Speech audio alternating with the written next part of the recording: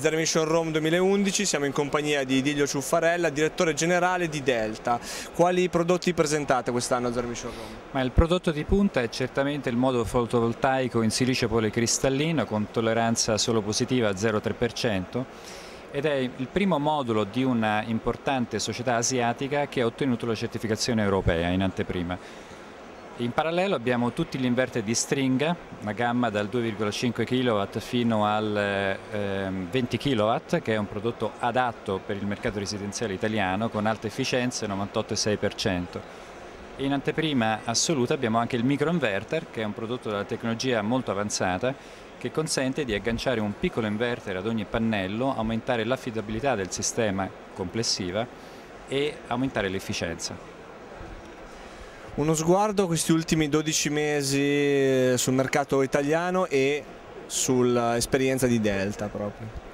Nonostante il blocco degli incentivi che ha causato una grande fibrillazione al mercato per i primi 3-4 mesi dell'anno, devo dire che la nostra società ha ottenuto ottimi risultati. Ad oggi siamo, abbiamo già superato abbondantemente i risultati del 2010 che pure è stato un anno di boom. Naturalmente è un mercato particolarmente difficile che occorre seguire con grande cautela. Prevediamo infatti un eh, consolidamento delle pelle del settore. E due parole sul futuro, eh, i prossimi mesi cosa ci si aspetta?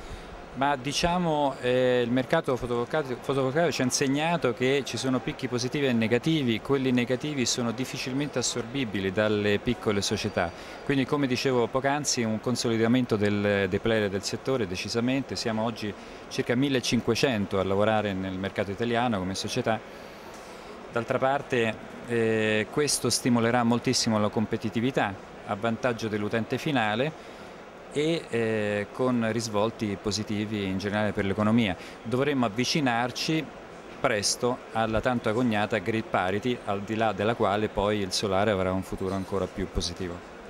Cosa manca allora per raggiungere questo obiettivo? Ma manca un po' di fiducia indubbiamente perché la fiducia um, al Solar Expo di Verone era completamente scomparsa Manca indubbiamente, auspichiamo che il governo mantenga le promesse che sono nel quarto conto energia eh, fino al 2016. Ci sono le condizioni per farcela.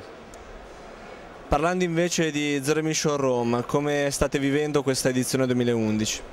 Morale molto alto, sia da parte degli espositori che da parte eh, di tutti i visitatori. Eh, C'è una notevole differenza rispetto a Verona quindi eh, la fiera è eh, migliorata rispetto all'anno scorso decisamente, quindi crediamo che Roma possa giocare in futuro un ruolo ancora più importante ed essere leader a livello italiano nel solare.